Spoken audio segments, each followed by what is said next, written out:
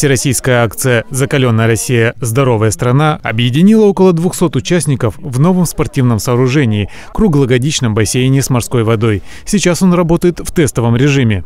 Мы все делаем для того, чтобы развивался у нас спорт, чтобы не только э, признанные виды спорта, но и вот как новый вид спорта плавание в холодной воде тоже имел свою базу, и имели возможность любители этого вида спорта тренироваться. Героями дня стали приморские и китайские пловцы международных соревнований Гран-при Владивосток-2023, которые устроили заплывы в бассейне с морской водой, температура которой составляла минус 0,5 градуса.